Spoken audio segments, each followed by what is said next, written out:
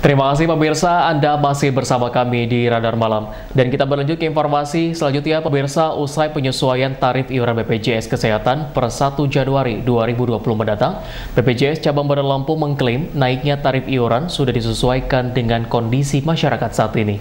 Namun apabila ada masyarakat yang tidak mampu membayar iuran BPJS, BPJS berharap agar mengajukan diri sebagai peserta penerima bantuan iuran atau PBI yang ditanggung oleh pemerintah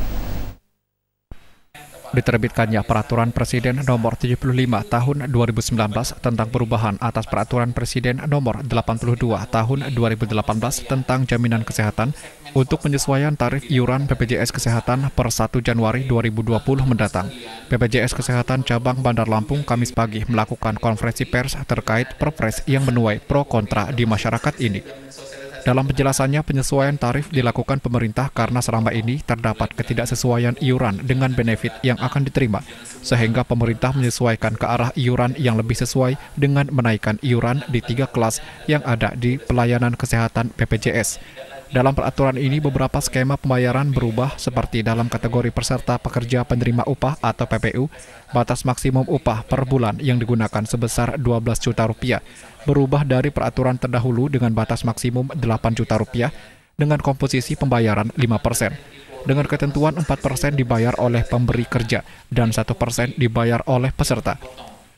Namun Kepala BPJS Kesehatan Cabang Bandar Lampung Muhammad Fahriza mengatakan, bagi masyarakat yang tidak mampu membayar iuran BPJS pada peserta mandiri bisa mengajukan diri sebagai peserta penerima bantuan iuran atau PBI yang ditanggung oleh pemerintah agar tidak merasa berat dalam membayar iuran BPJS setiap bulannya apabila dia benar-benar tidak mampu itu harusnya sesuai dengan amanat Undang-Undang Dasar eh, Negara Republik Indonesia tahun 1945 itu harusnya yang fakir miskin ataupun tidak mampu itu dipelihara oleh negara.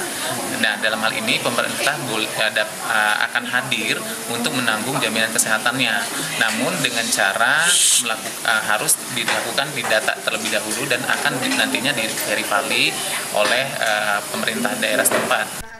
Sementara itu menanggapi banyaknya keluhan masyarakat, Sekretaris Dinas Kesehatan Provinsi Lampung Lady Yunira menjamin apabila pemerintah Provinsi Lampung masih bisa menanggung biaya iuran BPJS dengan masuk dalam peserta penerima bantuan iuran yang ditanggung oleh APBN, APBD Pemda Kabupaten Kota, dan kuota dari pajak rokok dana ini kan sudah dianggarkan APBN ya dan untuk tidak tercover APBN dianggarkan di APBD masing-masing kabupaten kota. Nah, provinsi juga mengambar, membantu untuk dari dana bagi hasil DBH cukai rokok.